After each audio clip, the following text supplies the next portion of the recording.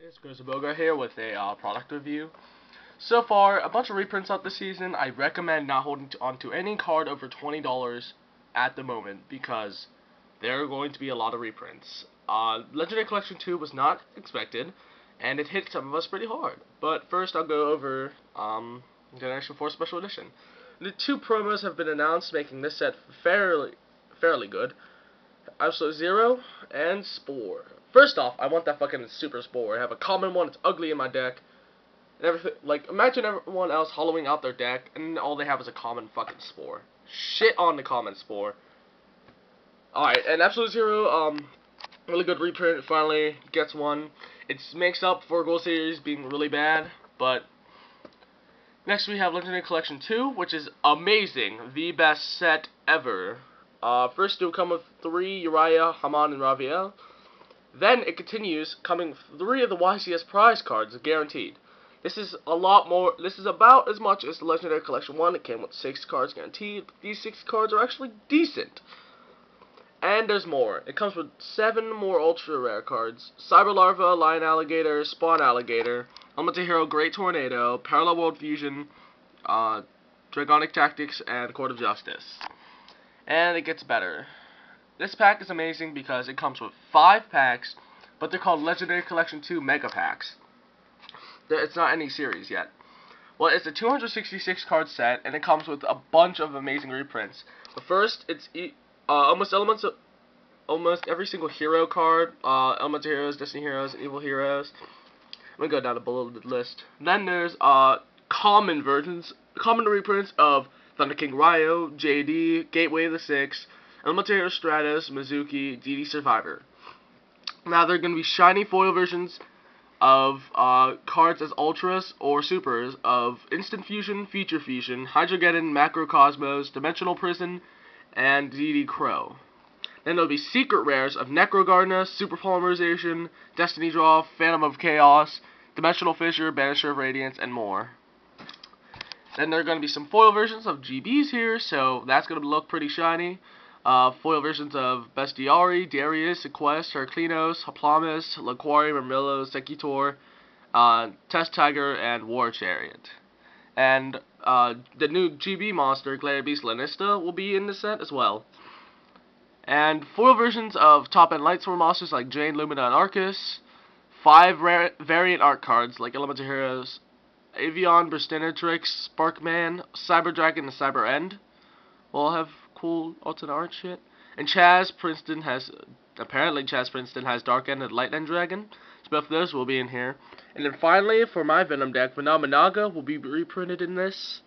Uh, Dark Lord Desire will come up in this. Uh, the original Six Samurai, plus Grandmaster Great Shogun will be in here. And Galaxy Star Beast and Darkness Destroyer will be in here. And all cards reprinted.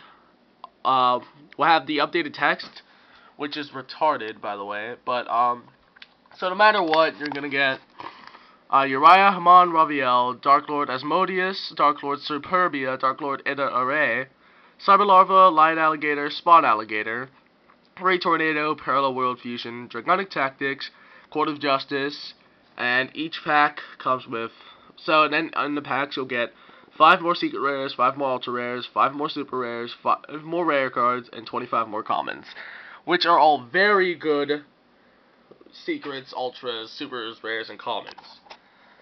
Really want that Thunder King now. Um, but this pack is set to release on October 4th, 2011. It'll be a $30 thing, which is not bad for all the reprints. And Special Edition will be out next month, the 20 or two months from now. Uh, let me just figure out real fast. September 20th, 2011. So these are very highly anticipated things now, especially the Legendary Collection 2 because of how good they are, and there's no question in it. I'm to be asking them to put this video on many channel, or, um, wait, what am I trying to say? Never mind. Well, um, uh, I'd like to say thanks for all the views on my Yugi vs. Yusei recording. I was in front row. I have about 700 views on it yet, considering the view counter is broken. That's okay. But I have 303 subs, if you guys can't tell. And uh, thanks a lot for all your support. I really love you guys. Um, I don't, I really want to get partnered, but um, that's not happening yet. 700 more subs, basically. I signed up for partnership, so probably right about when I hit a thousand subs, they'll partner me. But uh, 700 freaking views on this thing, and it hasn't updated yet. I don't think. But um, yeah, 16 of you favored this video, and someone Pojo, someone had this on Pojo.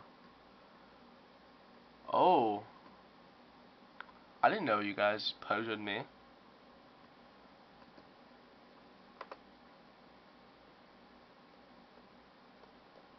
Uh.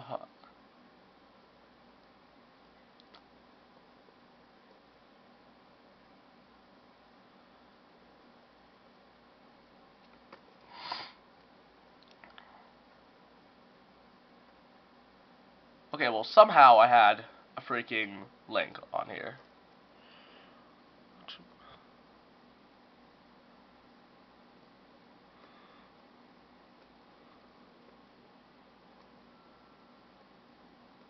Uh, so did someone refer me?